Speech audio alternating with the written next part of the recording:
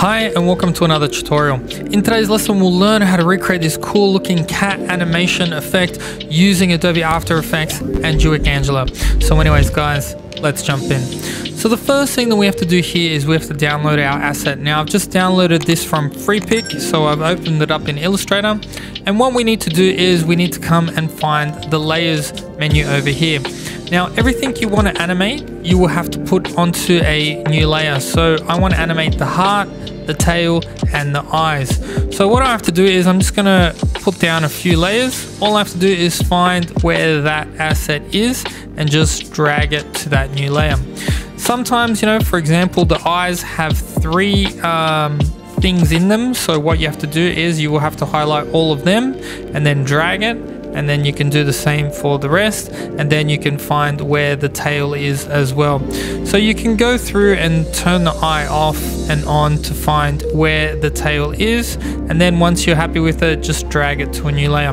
Once you're happy with that save it and then we'll take it to After Effects so now we're in After Effects and the first thing that we need to do is we need to make a new composition. 1920 by 1080 pixels will be fine, 30 FPS at a duration of about 10 to 15 seconds. Press OK. Once we've got that, then what we need to do is we need to import our cat. So I'm just going to go import file. And what we want to do is we want to import it as a composition. And so now once we've done that, now you can see all the cat layers here and I can just drag it to my main comp. Now obviously it's way too big for this uh, um, composition. So what we need to do is I'm just going to come over here, create a new null object, highlight all the layers and then make sure that you link them to the null press S for scale, and then bring it down to however big you want. Now we don't need the null anymore so we can actually delete it. But what we do need to do is we need to rename all of these layers just so it's easier for us later on. So the first one is going to be body. Alright, cool. So now I've just put the tail underneath the body and now we're actually ready to animate. So the first thing that we need to do is we need to make sure that we're off the layers and we're going to click a new shape layer. So if you don't see this uh, icon over here, it's underneath and we're just going to grab the ellipse tool and I'm just going to draw a circle that roughly covers that eye. So I'm going to do something like that. And then what I'm going to do is, so I'm just going to put that underneath the left eye. And then what I'm going to do is I'm just going to duplicate that and put it underneath the right eye. So now once we have that, I'm just going to move that uh, second uh, eye layer to the other side and we'll just have something like that. And now what we need to do is go back to the left eye and then go to the track matte and then just put it to that first shape layer. And so now if you've done that correctly, now I can move that eye around inside that track matte. And I'm going to do the same for the second uh, eye. I'm just going to come down, change it to shape layer 2. And now if I try to move that eye, it sits in there. So that's pretty cool. Now we need to animate it. So I'm going to come down to these shape layers. The first thing that I'm going to do is I'm going to hit the pan behind tool, move that anchor point to the middle of that eye. And then what I'm going to do is I'm just going to press S for scale and I'm going to unlink them that so that constrained properties. I'm going to hit the stopwatch for scale and I'm going to zoom in. So what I'm going to do is I'm just going to add another keyframe and then I'm going to move forward to 10 frames, add another keyframe, come back to that one in the middle, make sure you select it and then just change that to about 5%. And so now if you've done that correctly, now you'll have that eye blinking movement. So what I'm going to do is I'm going to highlight all the keyframes, go to animation, uh, keyframe assistant, easy ease, and now that will make it look a lot smoother. So we're going to repeat the process for the next eye. So step one, we're going to get that pan behind uh, anchor point tool, move it to the middle. Uh, but this time what we're going to do is we're just going to copy the keyframes that we have. So I'm just going to press S for scale, start at the beginning, and then paste them in. And so now if you've done that correctly, now you'll have that cool, nice eye animation and that's looking pretty good. So now what we're going to do is we're going to connect this up to Duik Angela. So the first thing that we need to do is we need to open up Duik Angela. So I've already installed it. I hope you can install it. The instructions will be in the link below. And once we're in here, what we need to do is we need to come down to this one here.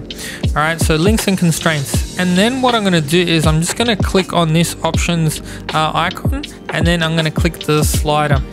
So the first thing I'm going to do on this slider is I'm just going to scale it up just so that we can see it and I'm also going to add a fill effect just so I can see it on this uh, background over here and then what I'm going to do is I'm going to move the slider all the way to one side and then what I'm going to do is I'm going to highlight all of those keyframes and then I'm going to go back into my Duik Angela and then make sure I hit properties.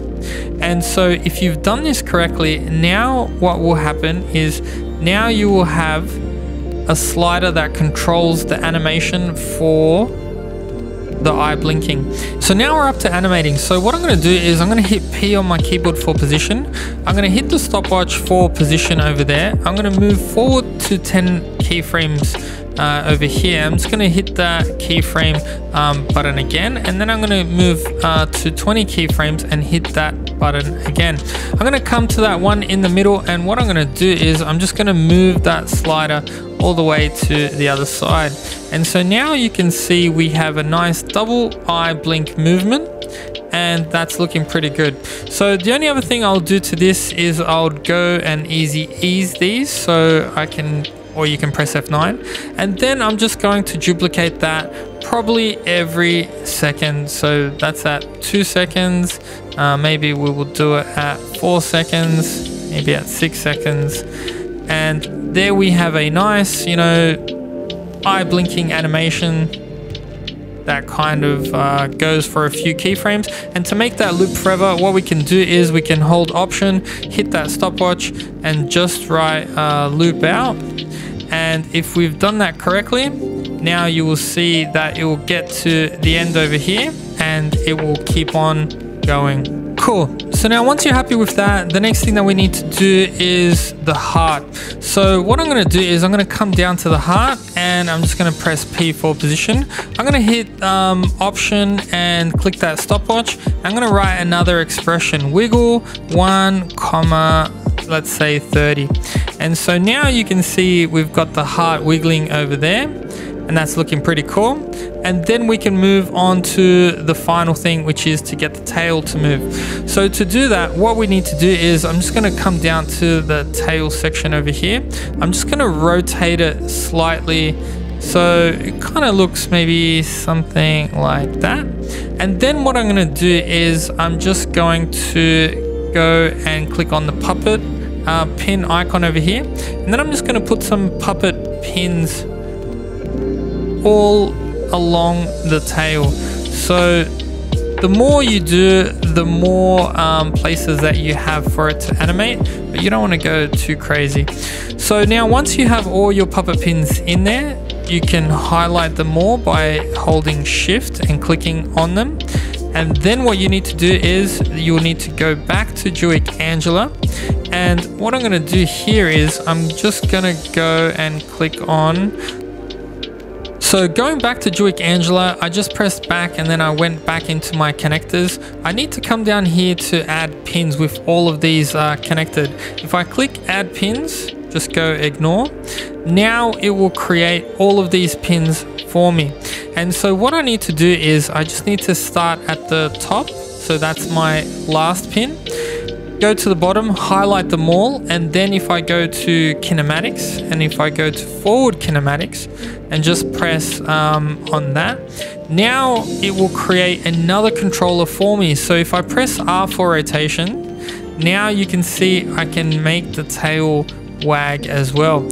So what I'm going to do here is I'm just going to kind of do the same kind of thing. I'm going to hit the stopwatch. I'm going to move forward in time to let's say one second and I'll put it to maybe 30% and then I'll go to two seconds and then I'll bring it back down to zero and I'll highlight all of them and I'll go to keyframe assistant easy ease and then what I'm going to do is I'm going to make that loop out so I'm going to hold option click on that stopwatch and I'll go loop out and this time it's going to be ping pong. And if you've done that correctly now you will see that the tail is wagging. So I just want to move that tail just you know um, inside the body. So what I have to do is I just have to find that first um, puppet pin. And once I've done that now I can move it and drag it around. And you want to drag that anchor point with it as well so once you've done that, the final thing that we can do here is we can just add a background. So what I'm going to do is I'm just going to go and right click and uh, go new solid, call it BG. And what I'm going to do is I'm just going to make sure that I drag it all the way at the bottom. And then what I'm going to do is I'm going to search for an effect called gradient ramp and I'm just going to change the colors in here. So I'm just going to go with a kind of uh, pinkish um, you know color over there. And then what I'm going to do is I'm just going to grab that same color but I'm going to get maybe something a little bit darker just like that. And I'm going to change it to a radial ramp. And then I'm just going to move that color just so it's uh, maybe something like that and then the final thing to just tie it all up is to create a new adjustment layer. And what I'm going to do here is I'm just going to make sure that that adjustment layer is all the way at the top. And I'm going to search for an effect called noise. And I'm going to put probably about 8% noise on that and so now if you've done that correctly, now you would have used Duik Angela to create a nice animated scene um, pretty easily and you have the options for that slider control. So anyways guys, thanks for watching your short tutorial on how to use Duik Angela. Hope you learned something and I'll see you guys in the next video.